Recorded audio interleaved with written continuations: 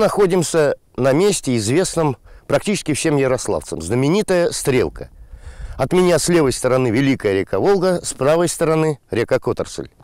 В XI веке именно в этих местах, которые занимали э, густые леса, проживали угрофинские племена. Именно сюда со своей дружиной из Ростова Великого прибыл князь Ярослав Владимирович.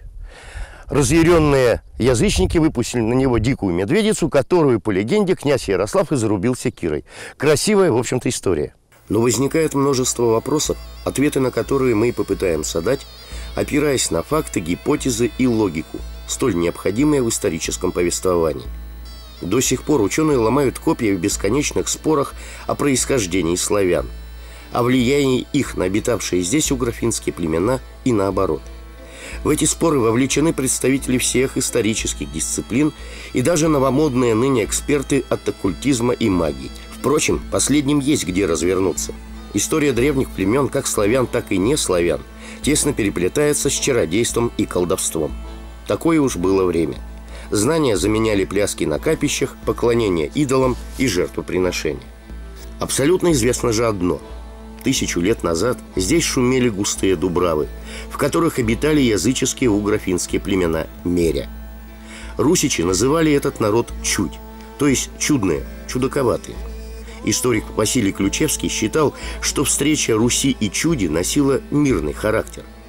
Получается, травля людей дикой медведицей исключительно миротворческий акт – Многие исследователи полагают, что угрофины были напротив весьма воинственно настроены и занимались не только охотой и рыболовством, но, так сказать, и криминальным промыслом, о чем речь пойдет далее. Не стоит забывать и тот факт, что северо-восточная Русь в XI веке была уже христианской, а жившие на берегах Волги Меря оставались последователями языческих верований но механизм строительства русской государственности, в котором православие уже играло далеко не последнюю роль, был уже запущен. Для определенных славянских народов язычество, конечно же, играло какую-то роль, потому что было, собственно, их доминирующей религией. Однако мы не можем говорить о какой-то роли для русского народа, ввиду того, что язычество было как раз религией вятичей, кривичей, древлян кого угодно, но не русского народа ввиду того, что его просто не существовало на тот момент. Появление русского народа именно как этноса четко связано с православным христианством и ни с чем другим. Память об этих племенах сохранилась разве что в русском фольклоре. Над ними всегда витал ореол таинственности и волшебства. Вот как говорили наши предки об угрофинах. Даже убитая чуть может постоять за себя. Если в некоторых местах рубить лес, то потом чуть придет, все пожрет, скарб разграбит. Эти слова также не соответствуют легенде о мирном характере жителей Чащоб. Мало того, в некоторых источниках угров называют чудины-людоеды. Правда, доказательств этим ужасным предположениям нет. Лес для угров был всем. Здесь они жили и охотились, скрывались от врагов и молились своим богам. Отголоски их обрядов, многие слова и понятия дошли до наших дней. Символ России – белая береза, наряду с матрешками, самоваром и водкой – но история – наука беспристрастная. И прежде чем стать символом Великой Руси, береза была священным деревом угро-финских племен. Существовали даже капища, посвященные Великой Березе. Уже позднее белоствольная красавица стала символом России. Языческий праздник березы после христианизации Руси превратился в Святую Троицу. До сих пор в этот день православные несут в церкви и дома березовые ветви – все, что связано с лесом и водой, животный мир, деревья, трава, явления природы, священно для угрофинов. Впрочем, как и для всего языческого мира. Отсюда сказки и легенды о кудесниках и волхвах. Волхвы, как считают исследователи, выполняли роль жрецов культа своего божества.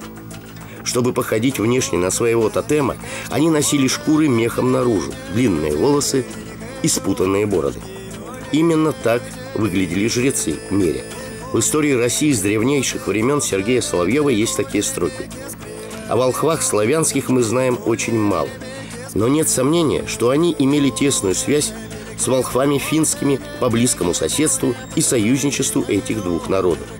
Тем более, что после принятия христианства волхвы преимущественно являются на финском севере, и оттуда мутят славянское народонаселение.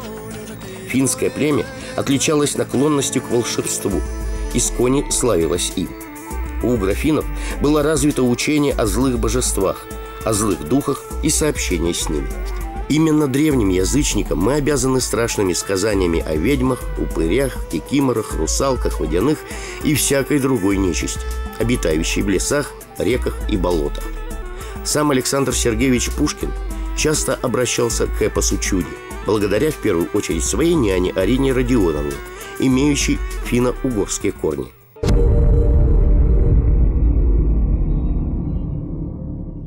У лукоморья дуб зеленый, золотая цепь на дубе том и так далее по тексту.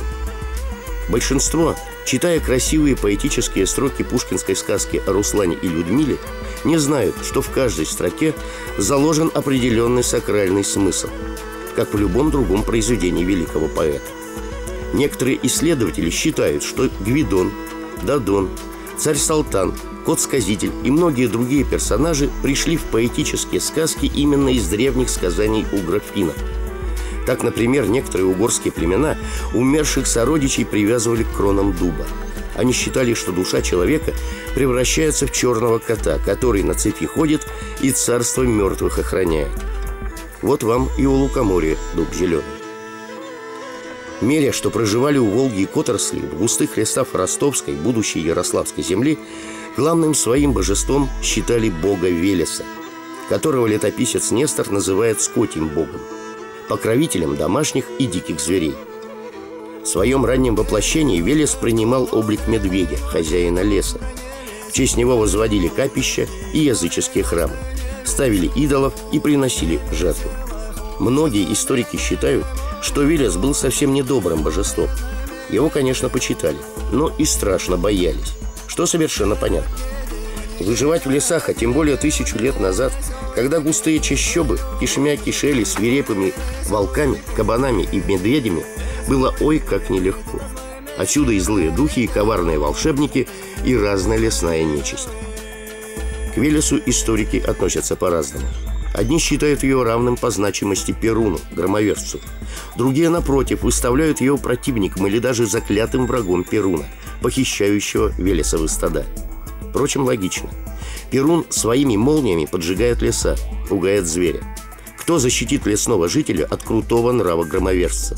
Только Велес. Есть очень красивая легенда.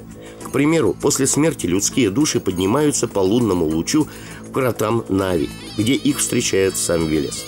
Если душа чистая и праведная, то она отправляется уже по солнечному лучу в обитель Всевышнего. Главное место обитания Велеса – остров Буян. Ну как тут снова не вспомнить бессмертные сказки Пушкина? Этого бога язычники считали хранителем реки Смородины, Рарики, то есть Волги, и Черного камня.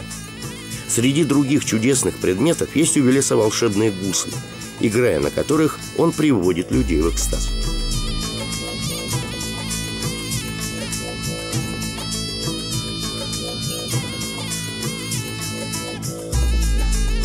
Ростов Великий был основан еще в IX веке. В житии Авраама Ростовского есть такие слова. Чудской конец поклонялись идолу Велесу. О чем это говорит? Да о том, что племена чуди, поклоняющиеся этому языческому богу, жили на этих землях задолго до основания Ростова и Ярославля. Велес, как считали и славяне, и уграфины, дал миру закон правильности движения от тьмы к свету. Символ этого движения являлся знак солнцеворота. Важно знать, куда направлены изогнутые лучи вправо к добру или влево к злу. Поэтому мы до сих пор плюем трижды через левое плечо, за которым стоят силы зла – на санскрите языческий знак солнцеворота называется свастикой. Германские национал-социалисты извратили истинный смысл языческого символа, превратив его в знак страха, боли и ненависти.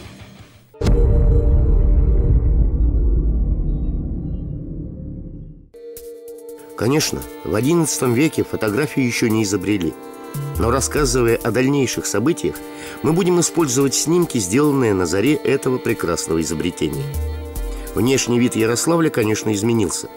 Но Волга течет в ту же сторону, как и тогда. Которсль и другие ее притоки продолжают свое вечное движение. Также выходят из берегов по весне и замерзают в крепкие русские морозы. Волга в те далекие времена кормила множество племен, что были расселены по берегам реки от ее истока до Каспия. Миряне, наряду с охотой и бортничеством, то и сбором дикого меда, занимались и рыбной ловлей. Благо, тысячелетия назад рыбы в Волге было достаточно. Но не менее даров леса и вод привлекали у графинов проходящие через их земли торговые суда.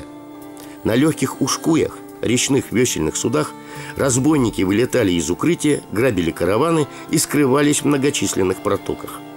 Ушкуничество было весьма распространено на Волге и со временем превратилось в настоящее бедствие для торговых людей. Именно по этому водному пути, который проходил из ростовских земель через землю у графинов, разбойники на своих лодьях выходили в Волгу, где и грабили торговые суда. Историки выделяют две категории речных пиратов – неорганизованные ватаги, банды одним словом, и настоящие воинские формирования новгородских наемников, наводящие страх не только на купцов, но и на прибрежные города и целые народности. Ниже по течению, вот в районе Плеса, э, существовал очень трудный фарвартер. И существовало там даже племя такое, которое как бы контролировало проход по этому фарвартеру за большие деньги, или же, если не платили такой налог, то корабли просто разбивались. Поэтому часть, торгов... часть Великого Волжского пути шла по Волге, по Котросли, по Нера, по притокам Нера, дальше в Плещеево озеро, из Плещеева озера в Аку. Ну, через систему рек в Аку. То есть он как бы огибал часть Волги и выходил на Аку, а Ака уже в Волгу. Поэтому э, Ростов являлся узловым пунктом э, торговли международной даже по Великому Волжскому пути. По Великой Ра Именно так называли Волгу арабские источники, проходил торговый путь между Востоком и Западом. Именно по этим водам шло арабское серебро в скандинавские страны. Из арабского халифата вывозились ткани и металлы, из славянских земель – меха, воск, мед. В Ярославской области, близ деревни Большое Темерево, в 1973 году был найден уникальный клад. Почти 3000 арабских и хазарских монет – дирхемов – Одна из монет оказалась редчайшей чеканки. Выяснилось, что принадлежала эта монета Идрису II и была датирована IX веком. Таких монет всего две в мире. Одна находится в собрании Национальной библиотеки в Париже, другая найдена на Ярославской земле. И это не единичный клад арабского серебра. Судя по характеристике данной мере летописцам, чуть придет, все пожрет, скарб разграбит, Грабежи торговых караванов без кровопролития не обходились. Даже пришедшие на Русь монгольские орды ничего не могли сделать с ушкуйниками. Мало того, речные разбойники сами приносили множество проблем непрошенным гостям.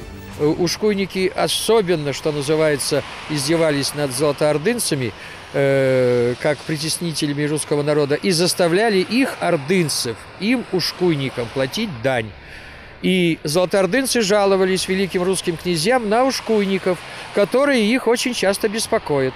Но великие князья ничего не могли сделать, потому что, э, когда собирались ушкуйники большими ватагами, иногда до нескольких сот судов, ушкуев так называемых, то справиться с ними было очень трудно. Тем паче, что они были очень хорошо отмобилизованные, подготовленные воины. И это, конечно, были не чита тем самым речным разбойникам, местным жителям, которые были здесь. Это другая категория речных разбойников, местных была. А в основном ушкуйники традиционно считаются как организованное такое воинское э, сообщество, которое активно э, нападало на и караваны по Волжскому пути, и население по Волжскому пути. Кстати, в летописях неоднократно говорится, что ушкуйники грабили такие города, как Ярославль, Кострому и так далее. Поэтому ничего здесь удивительного нет. Но в тот период, по всей вероятности, еще такой крепкой организации ушкуйников не было. По преданию, именно здесь, на высоком берегу Волги, и проживали языческие племена. Именно отсюда они совершали набеги на торговые суда. Но было ли так на самом деле? Безобразничать там, где живешь, не только нелогично, но и чрезвычайно опасно. Караваны имели свою вооруженную охрану и предвидели возможное столкновение. Да и не робкого десятка были тогдашние купцы – арабы, норманы, хазары и так далее. Меря давно были бы перебиты или захвачены в рабство. Только молниеносная тактика, быстрота и возможность уйти давали язычникам преимущество. Не стоит забывать, что на Руси шла поголовная христианизация славянских и иже с ним племен. Те, кто не желал принимать новую веру, уходили как можно дальше, например, в непроходимые леса. Поэтому версия о большом поселении Меря именно здесь, на берегах Волги, выглядит нелогично. Тогда где же могли обитать дети Велеса? Дело в том, что вот наиболее известное капище, капище бога Велеса, основного божества э, племен, живших здесь, оно находилось на территории современного э, сквера Волкова, вот где скульптура его стоит, около Волковского театра. Поэтому можно предположить, что основным местом пребывания и жительства было не, собственно, побережье Волги или берег Волги, а берег Котросли. Здесь можно было спокойно укрыться, пойти чуть подальше вверх по отрасли, уйти, в леса и, в общем-то, достаточно легко избежать погони. Ведь дело в том, что ушкуи – это сравнительно легкие суда, которые при необходимости можно было взвалить на плечи и несколько верст пробежать и в другую речку, так сказать, опустить его и таким образом скрыться от погони. Но здесь, мне кажется, такой особой необходимости не было, потому что э, территория вот э, Котросного берега или устья Котросли, она была крайне изрезана, и сейчас мы это видим. Качкарник, кустарник, овраги и так далее, они здесь могли очень хорошо спрятаться на сравнительно по современным меркам и небольшой территории. Языческих племен было не одно и не два, а гораздо больше. Капища, по мнению археологов и историков, могли находиться далеко за пределами самого поселения. Кавардаковский ручей. Здесь ручей впадает в реку Которсель. Тысячи лет назад это было судоходное место. Вот именно отсюда древние язычники на своих лодьях э, выплывали в Которосль по ней 6 километров шли до района Стрелки, и именно там нападали на торговые караваны. Кавардаковский, Купалишный, Зеленцовский. Все это название одного ручья, который в те далекие времена был более полноводный, а густые заросли скрывали его от слишком любопытных глаз. По древним сказаниям, которые подтверждают исследователи языческой культуры, именно в этих местах и находилось поселение угрофинов. Во-первых, здесь издревле, задолго до основания Ярославля, проводились языческие праздники. Говорят, что во время строительства фабрики корпусов Большой Ярославской мануфактуры люди находили множество человеческих костей, черепки глиняной посуды, украшения.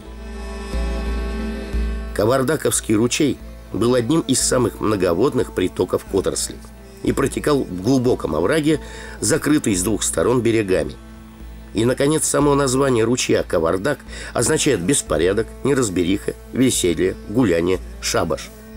То есть на этом месте проходили некие многолюдные действия. Можно предположить, что тысячу лет назад язычники проводили здесь свои ритуальные мероприятия в честь своего божества. Другое название ручья – Купалишный, тоже говорит само за себя. Сразу на ум приходит глагол «купаться» и языческий праздник Ивана Купала – эти места притягивают к себе какой-то скрытой силой. Установлено, что под землей проходит шесть водоносных слоев. Рельеф местности имеет значительный уклон и перепады высот. Вода выходит на поверхность, образуя родники. Родник в языческих поверьях имеет сакральное значение. По преданию, родники появляются в местах удара молнии Перуна. Старожилы рассказывают легенду, что там, где Кавардаковский ручей впадает в Которосль, живет дедушка Водяной – который на дне пасет свое рыбье стадо, командует ундинами, русалками и прочими водными обитателями. Не любит рыбаков, зато сам безобразничает и шалит, мутит воду, разрушает запруды. Чтобы его умилостивить, язычники приносили жертву. Честно говоря, находясь на берегах Кавардаковского ручья, чувствуешь себя, как бы это сказать, не в своей тарелке. С тех давних пор ручей сильно обмелел. Кривые деревья растут прямо из воды – на берегах прижимаются друг к другу домишки. А энергетика осталась. Кажется, бродят где-то рядом светловолосые меря или, как их называли славяне, белоглазая чуть. Славят Велеса и приносят жертвы. Итак, предположим с большой долей вероятности, что именно в этих местах жили язычники у графины. В военно-оперативном плане очень удобно. До Волги 6 километров по Которосли. Совершили налет и быстро назад – Преследовать их практически безнадежно. Торговое судно не пройдет, а берега представляют собой непроходимые чащи. Дошли до своего постоянного убежища и спокойно дели добычу. Купцы, отправляясь в дальнее плавание по Волге, сильно рисковали. Но купец не был бы купцом. Желание сэкономить часто заканчивалось потерей дорогих и ценных товаров. Действительно, существовали большие купеческие караваны с соответствующей охраной, но все это стоило достаточно серьезных денег. И часть э, купечества, торговцев, они предпочитали, что называется, самостоятельным порядком торговать на риск шли соответствующий. Совершенно естественно, что подобное положение вещей возмущало и пугало торговцев, везущих по Волжскому пути дорогие товары. Дошли их жалобы и до Ростова-Суздальского князя Ярослава Владимировича. Что делает мудрый и рачительный правитель? Приняв близко к сердцу проблемы торгового люда, для усмирения разбойников снаряжает дружину и, как бы сказали сейчас, проводит операцию. Правда, не слишком удачно. Возникает вопрос, ну а какое ему дело было до купцов-то? Самое прямое. Потому что любой торговец, пересекавший границу княжества, обязан был заплатить пятую часть стоимости объявленного к продаже товара – то есть пятину или 20%. Таким образом, как будто с неба сыпалась эта денежка. И естественно, что князья были крайне заинтересованы э, в беспроблемной торговле э, со своими княжествами или внутри своих княжеств, и особенно на границах, потому что именно пограничные территории являлись основным объектом нападения личных разбойников и шкуйников. После первого похода мудрый князь возвращается в Ростов призывает православных священников и вновь идет к берегам Волги с целью крестить в православную веру у графинских язычников, которые категорически отказались принять христианство во время предыдущего визита князя. Как крещение происходило на самом деле неизвестно. Судить об этом мы можем только по сохранившейся летописи. Судя по характеру князя, могла иметь место кровопролитная бойня. Не пощадил Ярослав Владимирович и прообраз Велеса Медведя – выпущенного на него язычниками, зарубив хозяина леса секирой, не деревянных и каменных идолов.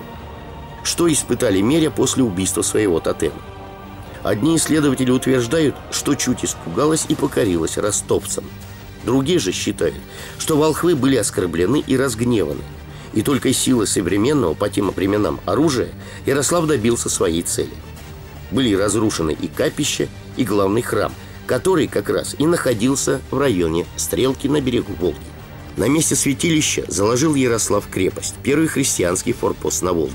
На месте языческого храма был построен храм христианский, а изображение прообраза Велеса Медведя в будущем украсило герб нового города Ярослава.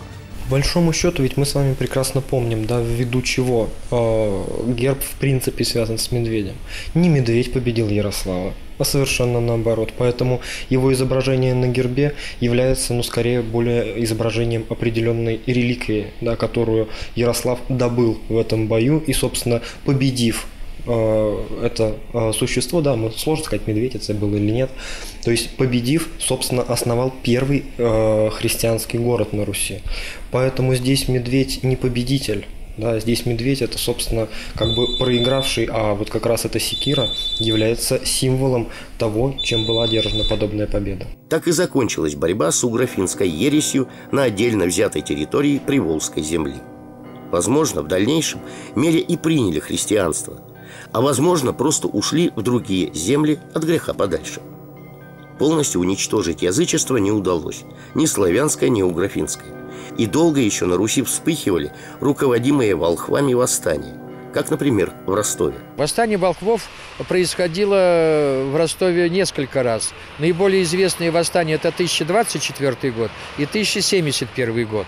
И именно под 71 годом упоминается восстание э, волхвов причем волхвов, двух волхвов из Ярославля. Именно в связи с этим Ярославль впервые упоминается в летописи. Христианская церковь к язычеству всегда относилась негативно. Апостол Павел в послании к римлянам сказал «Язычники заменили истину Божью ложью и поклонялись и служили твари вместо Творца». Быть оппонентом святых апостолов не принято, но хочется сказать следующее. Жили люди как умели, в согласии с природой и всем, что их окружало – молились тем, кому доверяли и в кого верили. Это был их мир, какой не есть, а свой. Как проходила христианизация Рима, известно. Как Византия пришла на Русь тоже. Где Слово Божие не имело силы, проводилась политика огня и меча. Это факт, от которого никуда не деться. Но то, что православие подтолкнуло Русь к сплочению и развитию, а в дальнейшем и к борьбе с внешними захватчиками, бесспорно. История – это вечная территория загадок и домыслов. Возникает справедливый вопрос. А куда, собственно говоря, делось угрофинское племя Меря, жившее на нашей сопредельной ростовскому княжеству земле? Почему после XII века о них просто забыли? Был народ и нет народа? Ответы дают исследователи. По их мнению, пришлые русичи селились среди язычников, перенимая какую-то часть их верований и традиций. Есть и другой вариант. Меря вместе со своим языком, религией и даже антропологическими особенностями вошли в состав русского народа. Так или иначе, эти племена оказали огромное влияние на развитие Северной и Северо-Восточной Руси, а в целом и становление российского государства.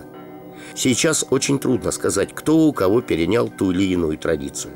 Велесу, например, поклонялись и славяне, и чуть.